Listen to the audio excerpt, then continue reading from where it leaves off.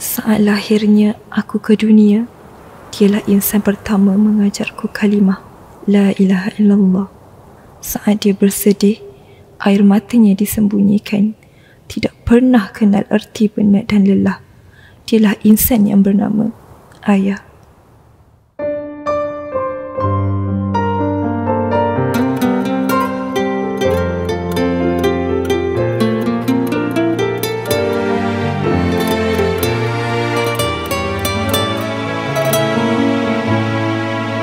Kasih sejati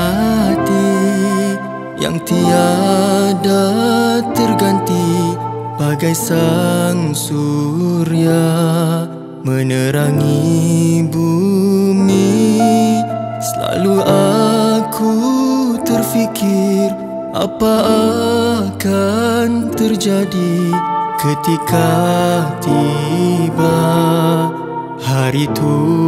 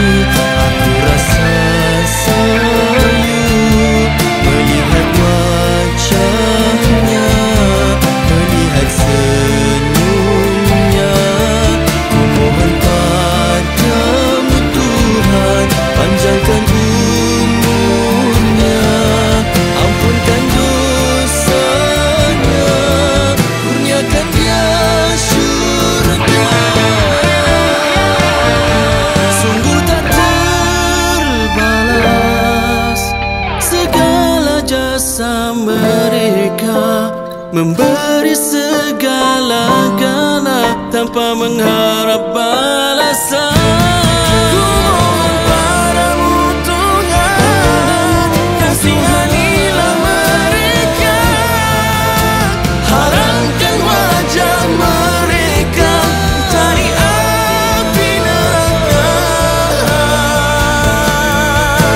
Kasih dan sayang mereka Kita bisa hidup Puta sangue